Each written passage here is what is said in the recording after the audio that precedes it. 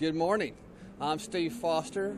I'm the Woods County Emergency Manager Director, and I'm here today with the Woods County uh, Commissioners meeting, and they wanted to know what my jobs were at the county. So, my full time job is emergency management. My second time job is safety director for the county, and third is floodplain manager. My emergency management job takes up most of my time, and I try to have people teach the people of the county to be prepared of all disasters and be self sufficient.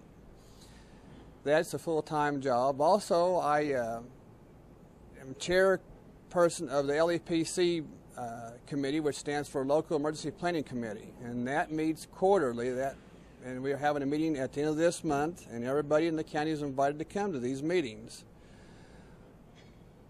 Also, my safety director job is to uh, plan safety meetings for all the county workers in the county. We do that quarterly so we can keep our safety record up, so we'll keep our insurance premiums down.